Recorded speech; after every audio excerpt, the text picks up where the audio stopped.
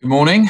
Uh, welcome to uh, the Virtual Photography Show. Thanks for joining us this morning. Um, I'm James Loader from the uh, Sony UK and Ireland uh, imaging team. Um, I've been very uh, privileged to be joined this morning by uh, Jed Leicester and Tom Lovelock, two um, very, very, very strong, powerful sports photographers at the, at the top of their game. And they are here to basically help um, to demystify a little bit about sports photography and, and how they go about it.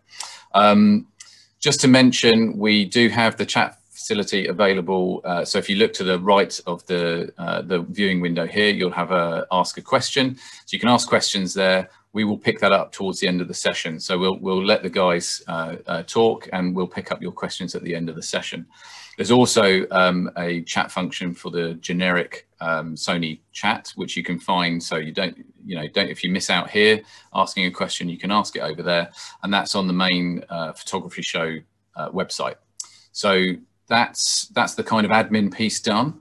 Um, so introductions, yeah, we've got Jed uh, in the in the red shirt there. Give us a wave, Jed.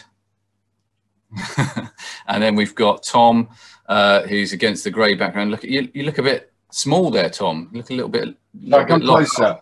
Yeah, come closer. Yeah, there we go. I can see your face. So, um, yeah, thanks for joining, guys. Really appreciate it. I, I, know it's difficult on on a Sunday morning to um, to get time to to take out and, and have a chat like this uh, when you've got little people around. But um, firstly, we just wanted to to kind of uh, get an idea of what got you into photography in the first place for, for a start, and why specifically sports photography. Um, I'll start.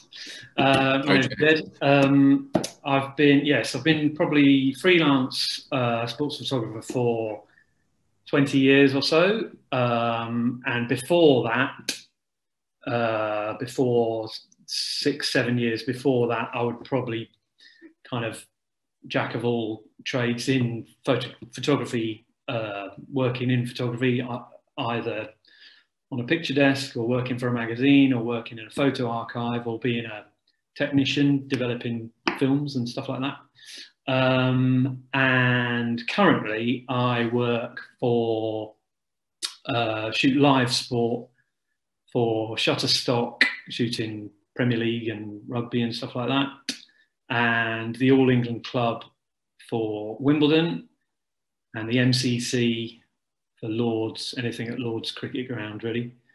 Um, and I would say what uh, regarding what got me into photography, uh, sports photography, was I don't think I wanted to do anything else really, and uh, I didn't really consider doing any other um, news or landscape or anything like that. Um, I was into doing sport, and I completely and utterly started at the bottom gained the experience and work, worked up the ladder really um, to do what I do now.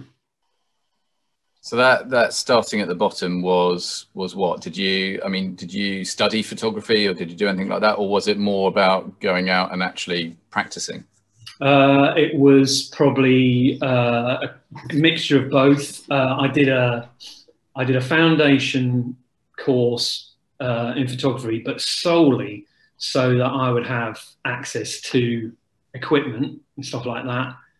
Um, I didn't really do any of the work. I just used the equipment all the time and created a folio from that, which completely got me in the door, admittedly at, at the bottom rung, um, uh, at uh, for a job basically, starting at the bottom, junior technician or um, or junior photographer, but it was completely starting at the bottom, gaining experience every day, effectively. And I would also say, at any point, putting my hand up to do other stuff that frankly wasn't in my role, but I would do it anyway. And then mm. over time, it would kind of become my role, really. So you kind of instigate it for yourself uh, and change kind of change your job so that you do what you um, a more photographic led uh, role. Mm, okay. And uh, how about you, Tom? Was it similar for you? Was it um, a, a, kind of immediate passion? No, no. I, I, I, I basically I studied photography at university, um, and I didn't really know. I knew I wanted a career in photography, but I didn't really know which sort of area I really, really loved. So I decided to just go and assist as many photographers as I possibly could fashion photographers, underwater photographers, still life photographers. And then I, I hadn't really thought about being a sports photographer at this point until I had a phone call out of the blue from a sports photographer asking me to go to Italy with him and assist him at the World Downhill Grass Skiing Championships. And okay. I thought, wow, this actually exists. What a great thing to do. So packed the bags, went off to the event, and just I was sold. I was like, what a great job to have. And so did did that um I mean him reaching out or or you getting getting to go and do that is that as a result of you kind of um trying to to network as much as you could? So following uh, other photographers that were inspiring you that, that were out there shooting um, you know I, I don't know were you um, were you contacting them you know you know cold, cold calling them almost to, to kind of say look if you've got a job and you need an assistant i'd, I'd be really willing yeah. to help or... absolutely absolutely and also photographers all talk to each other and share assistance and ask for good people and that's what happened to me i was working for an actually an underwater photographer that this sports photographer was friends with and he said try my guy out and that's kind of where I went into it. Okay. Is it, I mean, do you find that, um, and this is to, to both of you guys, do you find that the the community is really, um, uh, you know, you look after each other, or, or is it very competitive? Is it, you know, well, I'm not going to talk to him, I can't talk to to her, I, I, don't want them to get my my client or my secrets or, or whatever. Is it is it collaborative or, or not? Um, I mean, I personally talk to everyone. Um, and you obviously get to know what people can and can't do, and then you can either tap into that or, frankly, use them on jobs that where you need help other photographers and stuff. Um, but I would say, but also just, I mean, you're right. It, it is, I suppose, there is a rivalry, but it's uh, we all do the, you know, the same uh, the same. We're all in it together, I suppose. I mean, it's in slightly different to Tom, the um, uh, the notion of ringing round. The I, I've never rung anyone. It's just it's just kind of being there and being doing a job, hopefully well, and being I don't know nice. You, you just it, it's not a massive pool of people so therefore, if people know you or seen seen your work, then you um, you know periodically you just get get receive the phone calls basically. But and do you um, do you think that there's you know do you do you find pressure to try and get something different from from the other the other photographers? Are you are you conscious of the fact that you know oh i need i need to come up with a different angle i can't just shoot it like this because you know or or is that kind of stuff more um, defined by who you're shooting for so you know jed you might be shooting for for shutterstock tom you might be shooting for sports illustrated i, I would presume those two entities might have quite different um, briefs to, to you guys so is, is there you know is there a um, something that really guides you in terms of well, I've got to go and do it like this? Are you told that by the client, or um, are you constantly looking to be um, unique and doing something that's that's different to everybody else? I, I think it's a bit of both. You know, you have to weigh it up. Of course, everyone wants the winning picture of Roger Federer winning Wimbledon, but also around that, I think it's really important for me, at least. I I try to do something different every day, uh, find a unique angle, or um, you know, just work with the environment you're in to produce something that's just a bit different. Mm. I, um, the, I, I would say the only time I feel a bit of pressure is not when I'm working against people, it's when I'm working with people in a kind of large team.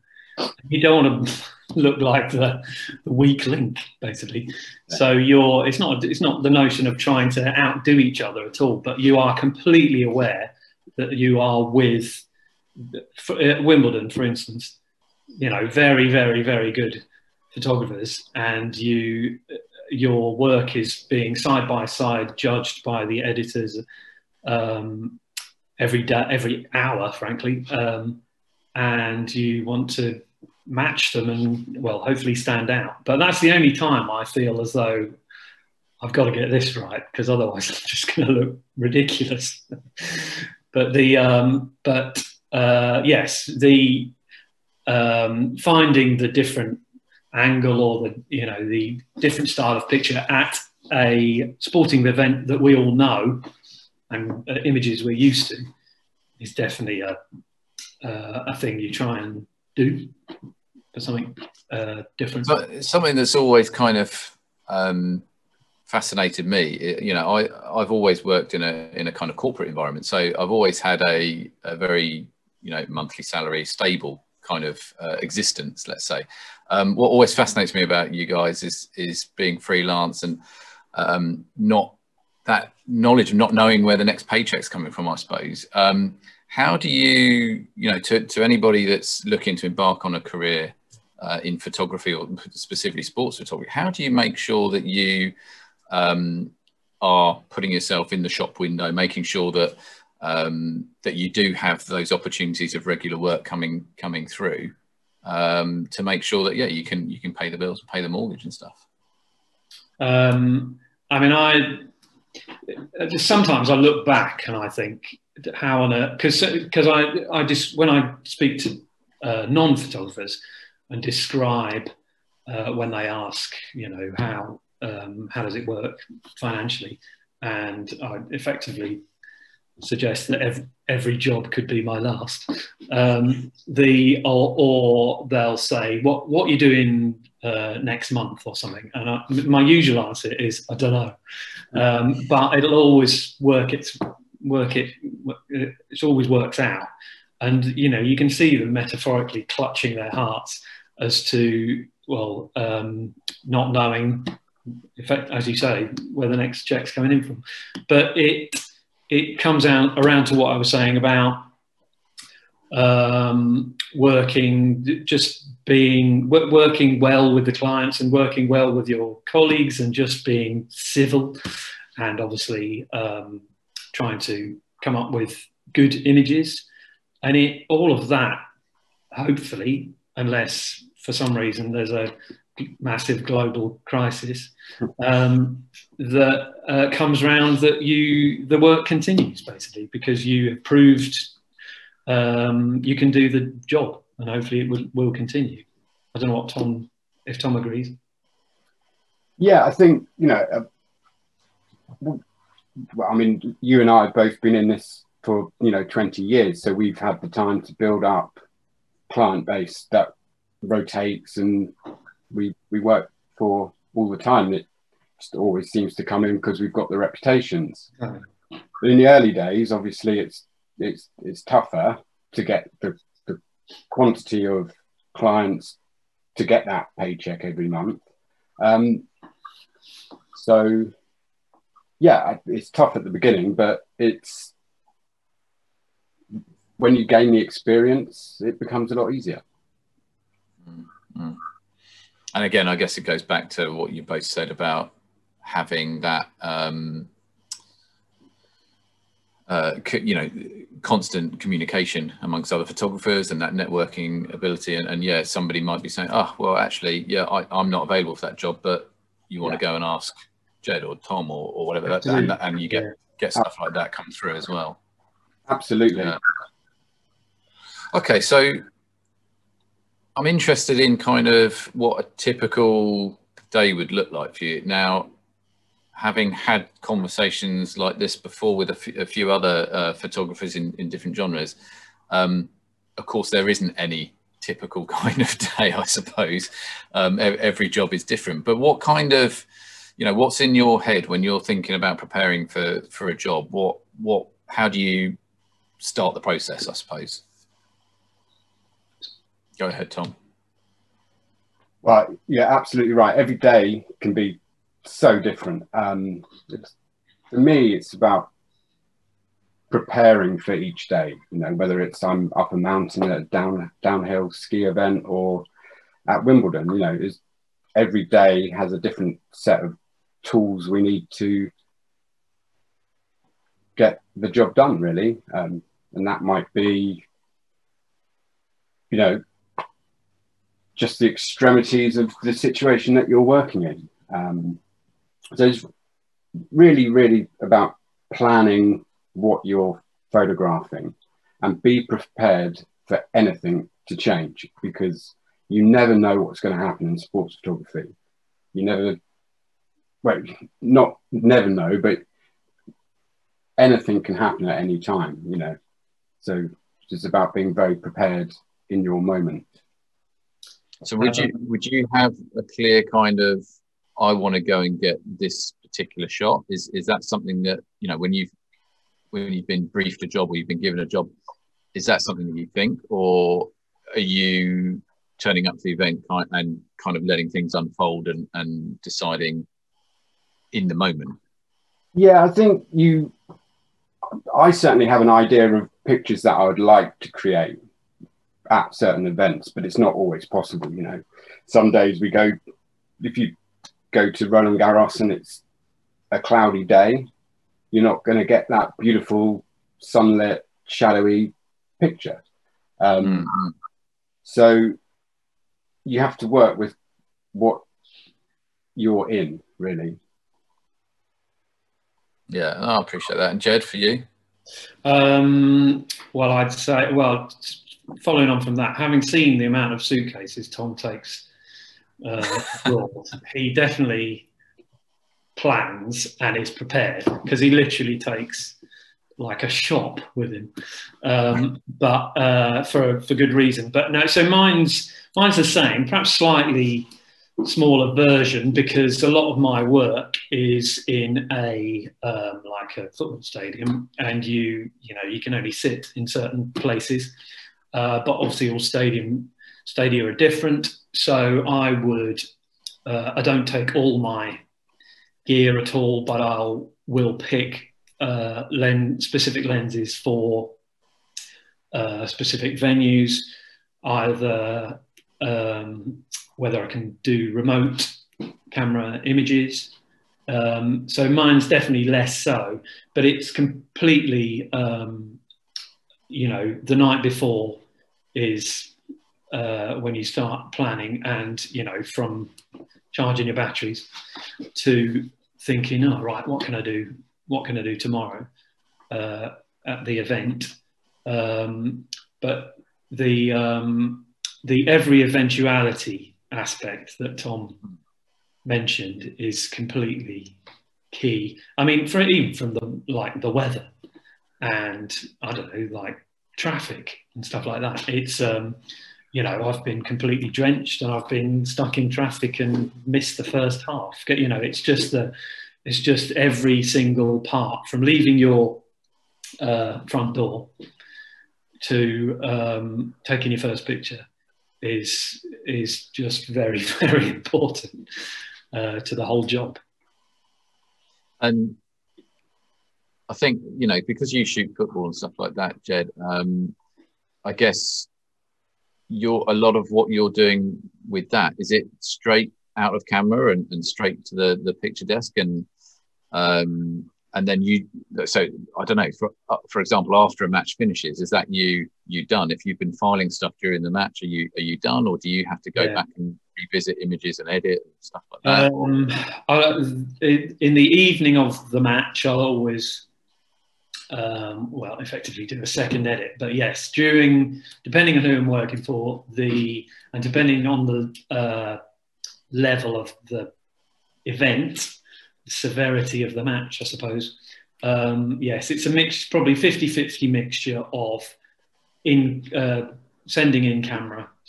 Um, so at the end of that particular match, then arguably I'm done really because I've sent everything and the editor is um, uh, captioning and editing the image. Uh, but sometimes I work from laptop. But we're talking, you know, as the match is going on, you know, five minutes into the match, I'm sending stuff. Um, I'm sending images immediately, aside from the preview images. But it, as soon as the whistle goes, uh, as soon as you get a shot, you start editing it and get get it over.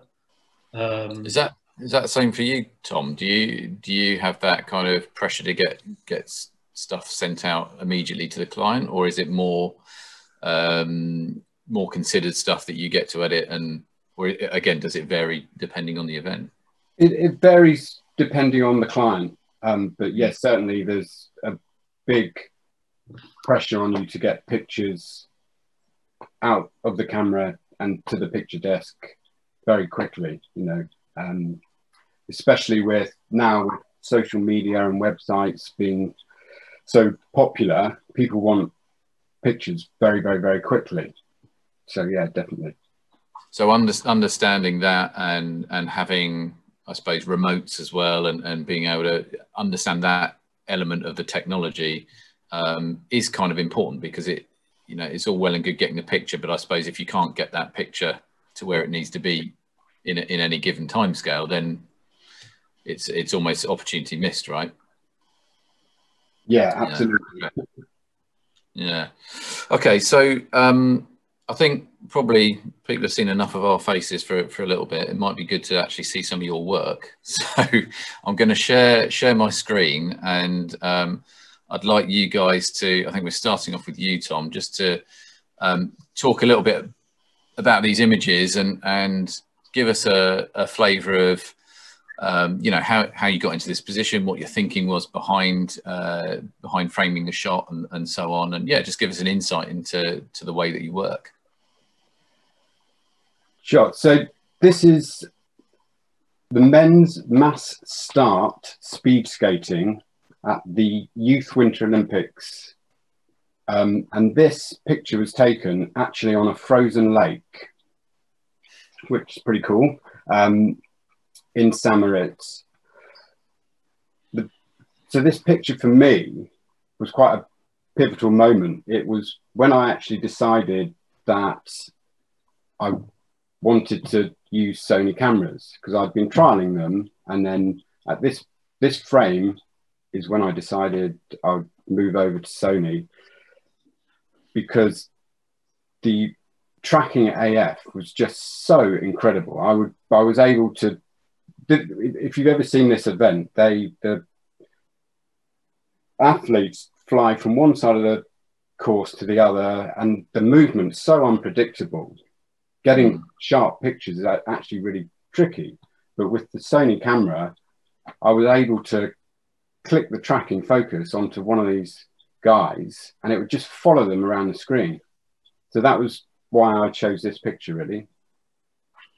So that kind of meant that you could concentrate on framing the the shot rather than moving the camera around trying to keep the, the oh. subject that you wanted you know sharp in the frame i guess yeah? Yeah absolutely absolutely. So this this one so this same event? same, same place. It's the women's mass start. Um okay. and this is an example of how to make a nice background when you don't have one particularly. Um, it's a slow shutter speed pan. Um, inside the ring here is a lot of sort of white tents and tech stuff that actually isn't very visually pleasing, but by using a slow shutter speed, I'm able to lose that, but still give a little bit of an element of where I am.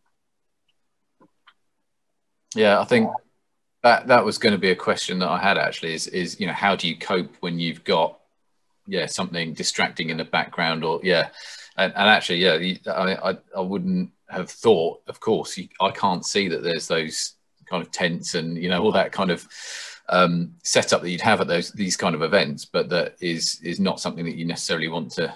Uh, faithfully represent it, you know, in full sharpness on the screen. But that's, so it's a really good use of technique to um, to bring the sport front and center. And, and, and as well, I think it really gives that sense of the speed. Oh, no, a, I love that shot. It's a great shot. Um, how about this one? So this is luge. Um, is, is, this still the the yeah. Youth Olympics? Yeah. Yeah, this is the Youth Olympics. Um, and luge is really, really, really tricky to photograph because they come past you so fast. Um, you could often miss them if you're not really concentrating. And um, this shot, I was I had this patch of light, and I was just like, I've got to get the luge guy in that exact patch of light. And when they're going so fast, it's a lottery. you know, there's some they're up there, they're down here, they're up there, but having the ability of 20 frames per second was just changed the way that I could photograph this. So on this one, did you did you pre-focus and yeah. then and then fire the so you you are you're only really asking the camera just to just to burst and, and capture at that point because you you taking the focusing sort of element away from it and just saying, yeah, this is where I want to focus, this is where I want it sharp, and then letting it do its thing. Absolutely. I mean, if you if you also if you hit the shutter button when you see them, you'll miss them. So you have to start before they're even in the frame. So you're listening out for the sound of the luge coming around the track, and then you you just you've got to burst, and eventually you get a good one like this and yeah, and and again, I guess you're you're reliant on so many things coming together. You know, no cloud passing in front of the the sun at that moment where it dulls the the ability to highlight the athlete and so on. Yeah, it's uh, uh, how how many goes at it did you have to have? Oh, hundreds. Good. That makes me feel better. It makes me feel better. Um, okay, so we're at Roland Garros now. Yep, that's good. Um, yeah, Nadal at Roland Garros. I think this this was semi-final um, this year. Um, I love this shot because the shadows just so crisp and long. And at this time of day, they actually they moved the Roland Garros um, time of year due to COVID, and it meant mm. that the sun was a lot lower all day long. So you were able to get shots like this not just at the end of the day, but during you know the middle of the day. Um, so more more challenging for the for the players, I guess, having a low sun in the sky, but great for yeah. photography. Yeah. and this was we were this was shot on a very long lens. I think it was we were allowed up to the very top of the stands um, this year, and I think this was shot on a 400 mil with a two times converter, so 800 mil. Wow. Okay. About really high. We're still pin sharp.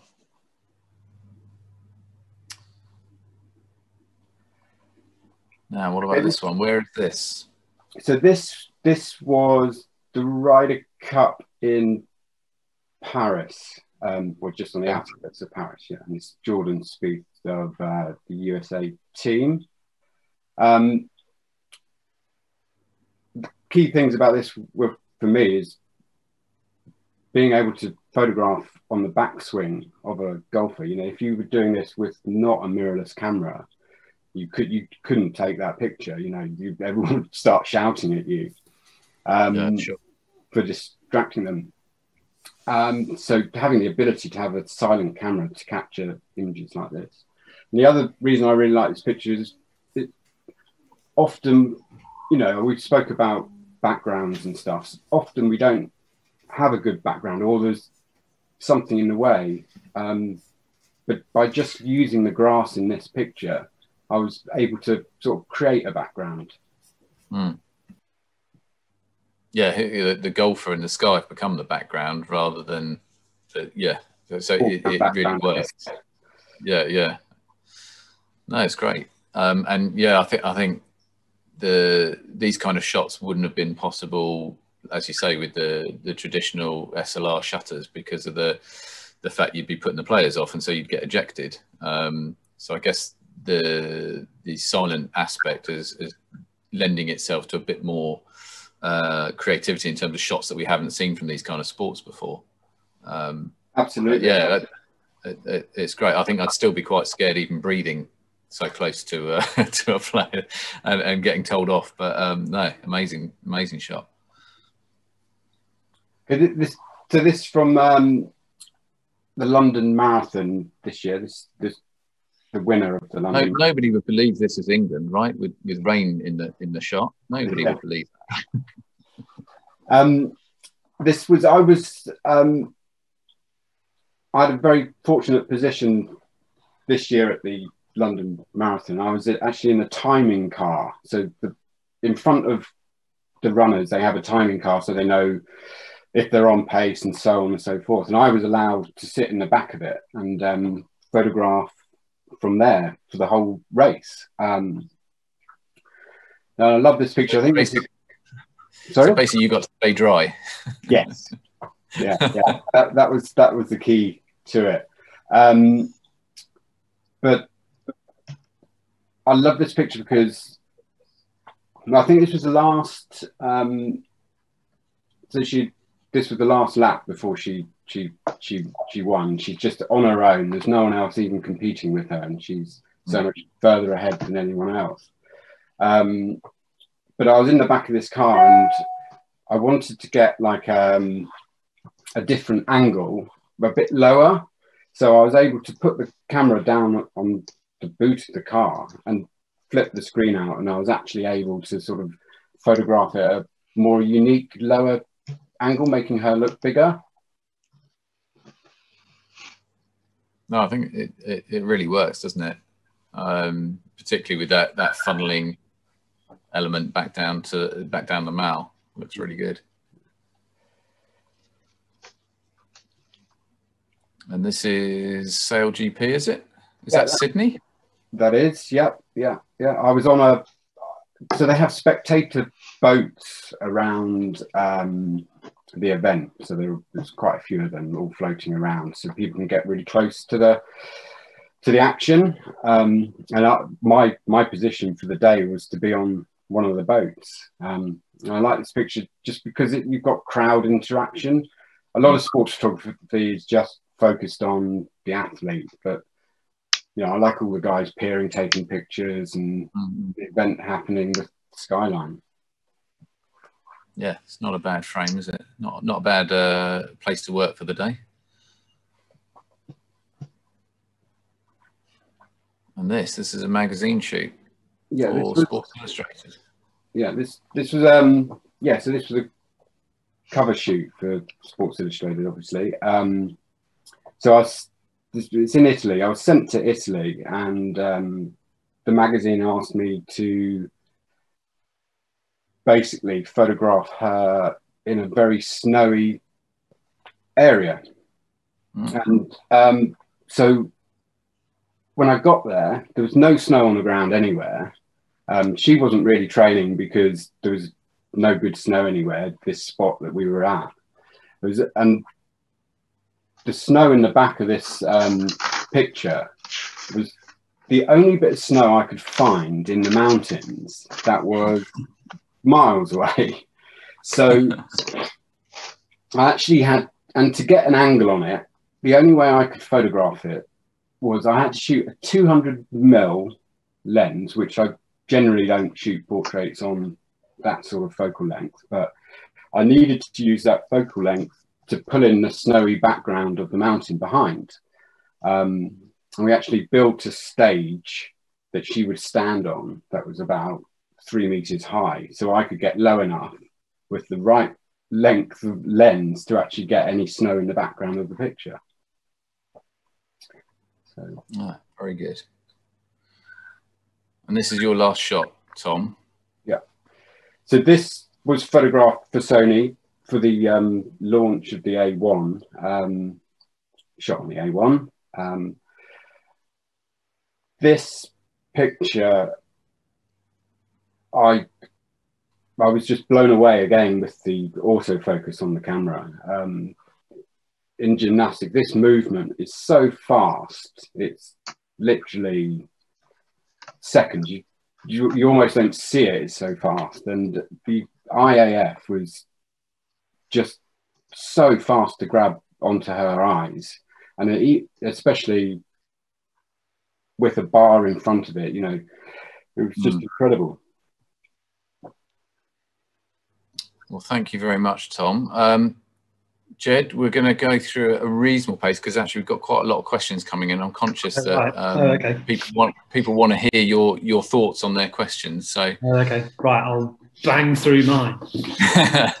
uh, right, uh, Lords, uh, Cricket Ground, the Ashes. Uh, I'm going to give you bullet points. Um, I love this. This is the great. the ground looking through the crowd in the grand in the main grandstand, um, and, and, obviously silhouetting the uh, silhouetting the uh, crowd, um, and it's quite a nice angle, isn't it?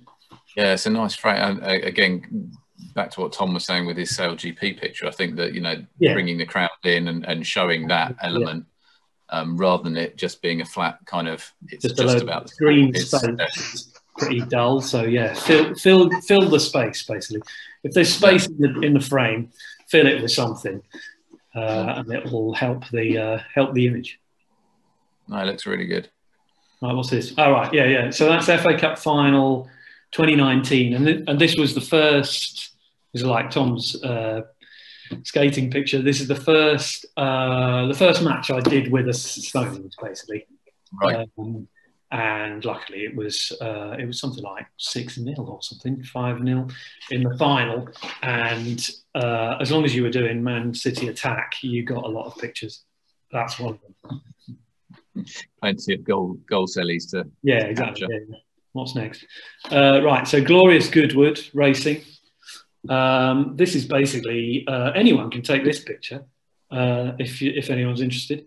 The um, this is standing on the road, which is next to the course near the oh, start, oh, right.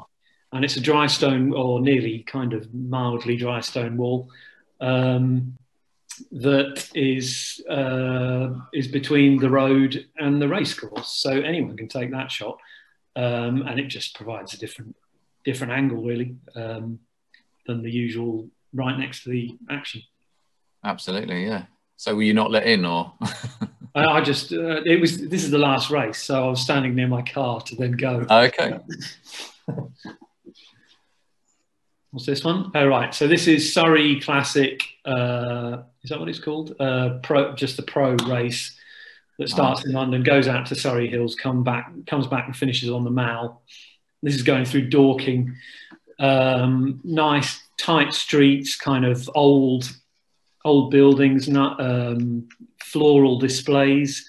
So mm. I just put my camera on the top of my monopod, extended it out, and waited for the peloton to come through. Really, to so that every part of the frame is filled. Apart from that kind of annoyingly white sky at the top, there is tons of stuff to look at in every part of the frame. color. Yeah. yeah, exactly. What's this one? All right, here we go. Uh, this is another kind of. Uh, this is also winter Winter Olympic um, event that me and Tom did, and this is another absolute split second. I, I mean, I can't tell you how quick this is. Um, the uh, ice dancing may not um, appear to be super speedy, but it really is. And obviously, they don't say, "Right, is everyone ready? I'm now going to throw her up in the air." You, it, it, just happens and you've got to be ready and hopefully you're uh, in the right position basically right spot yeah absolutely yeah. Uh, right so cricket so this is also another image that anyone could have taken um, but I also um, predict that this image will never ever happen again because strangely enough we can't really herd a 40 stone stag um, and tell it where to sit. But basically, this is in Bushy Park in southwest London, Teddington uh, Cricket Club, and uh, a stag sat near them. So I, I'm, I'm a long way away. I'm on a, I'm on a two to six, uh, the two to six lens. Um, okay. I'm a, I'm, I'm a very long way away. I'm like on F 22 or something like that. And I would argue wow. it's still, it's still a bit it'd be still a bit better, better depth of field. But the sun came out perfectly, but it wasn't on the background is hedges and trees and stuff, and it wasn't on there. And then he hit a four. But it's uh, that's my favourite shot of last year, I would say. And it's just me going to the park and knowing there was a a match on and just create. Yeah, nice. It's a it's a it's a stunning image, and the fact you've, you've still got the ball in the shot as well. Yeah, and, yeah, exactly. yeah, yeah, just. What's this? Oh yeah, Winter Olympics again. It's absolute super speedy um, ski jump event, which is they're like bullets going through the sky, but um, it the background is uh, dark trees, and and I was all framed up and ready to pick them out of the sky, and then it suddenly started to snow. So that that's effectively what makes the shot. Uh, it would have been quite nice, jet, jet black background, but the uh, the snow falling down completely and utterly is uh, makes very the, cool. Yeah, very cool. What's this? Oh right, this is just. I don't know why I picked this one. It's because I know why.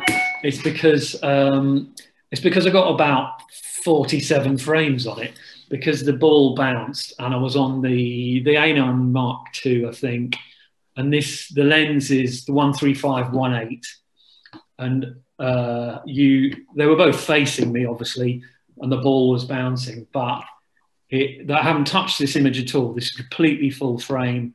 I haven't touched any part of it, and it it just worked out that the I could fire off tons of them, and here's one of them uh, Eliud Kipchoge when he did his two-hour uh, sub two-hour marathon. This is the last hundred meters. As though the, the, pace runners in the background are going mad uh, with joy and excitement, and Eliud Kipchoge is um, uh, also enjoying the fact that he obliterated two making history. Yeah, yeah, it was just it was such a good event. That was so brilliant. Obviously, it helped the fact that he uh, broke the record but that it, yeah. that uh, it worked, and, and the reason why it worked probably is because of the pace runners in the background. Um, yeah, we're going to need to need to cover off some of the questions. I think. okay, so yeah, let's go to some questions. So yeah, so first up we had um, a guy called Gary looking to buy some kit for surf photography. So, so for surfing, so what would you what would you suggest? Tom, you go. You've probably done surf photography, haven't you? Uh, no, not really, actually. But I would say long lens. Um, you know, some um, uh, the two to six would be a great lens yeah. to go for. Um, give you give you real long lens because unless you're on a boat um, out in the sea, I guess if you're looking to shoot it from land, you're going to need that length. I'd say if you can't afford the long lens, depending on where you are in the world, get in the sea and um, use a wide lens. Uh, now, obviously, you you might encounter um, being hit by surfers or getting a wet camera, but the uh, what what would be cheaper, the housing for the camera or a or a more expensive long lens? Yeah. Uh, so Jamie asks, um, just left uni last year and looking to join a, an agency to shoot sport. Um, what are the kind of best steps to get in into the industry that way? Any? Okay. Go, go for that, Jed. We've got, we've got, less than a minute, guys. So right, okay. what I'll say is these questions that have come up, if, if uh, Tom and, and Jed, if you can um, make yourselves available to, to myself afterwards. What we'll do, we'll put the questions to you and we can feed them up onto the chat um, right. so that the guys get get their answers. Um, but yeah, I, I'm, I just was so fascinated by uh, by your images and, and by you know getting some understanding from you earlier that we've we've kind of run over in terms of timing for for questions. But thank you very much for your time this morning, chaps. Like I say, if you can just um, hang on online with me uh, to, to answer some of these questions and we'll put them on the chat. That'd be much appreciated. Okay. Um, and where, where can these these people find you guys? What what's your so we've got um, Instagram, best place to find Jed Leicester. Yeah, yeah. Jed Leicester and uh, Twitter, same with Tom, I would imagine. Uh, either that, I'll be at West Ham tomorrow night. Thank you very much again, guys. Cheers. Cheers.